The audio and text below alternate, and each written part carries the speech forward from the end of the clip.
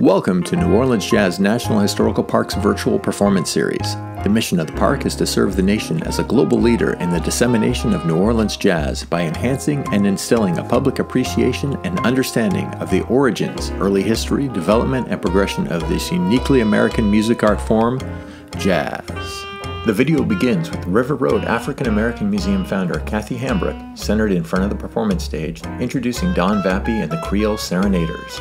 For the performance, the band is spaced evenly across the stage with the piano on the far left and the drum set on the far right. Behind the band is a mural depicting legendary musicians from New Orleans history, along with a banner and our American flag.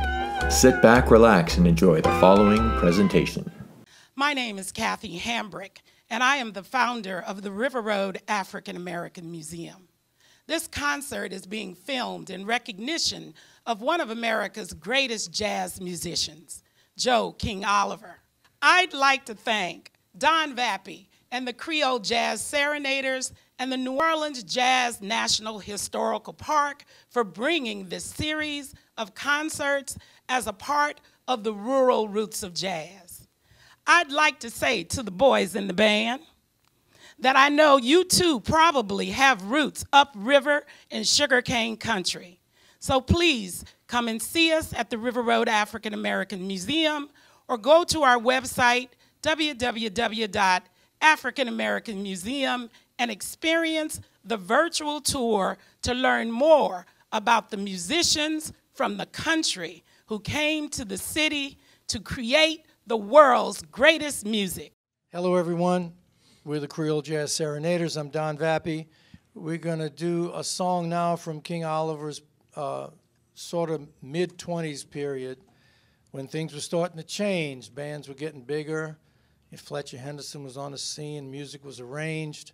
This is a tune called Deep Henderson, and you'll be able to tell the difference between this piece and his 1923 stuff.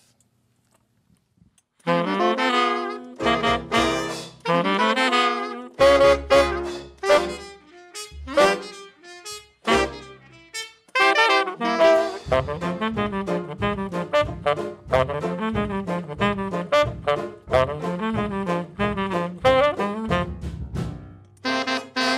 Música